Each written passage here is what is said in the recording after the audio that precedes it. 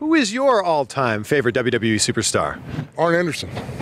Arn Anderson is my favorite. I grew up as a kid watching him and the Four Horsemen. I love the Enforcer. He's become a great friend and a great mentor over the years, one of my dearest friends. And now, guys in the ring that I've competed with, I mean, obviously there's going to be Rock, there's going to be Stone Cold, there's going to be Undertaker, Kane, John Cena. I love John Cena. I've had many a battle with John, and I have nothing but admiration and respect for his work ethic and what he's given to the business, and you know, me personally as a talent.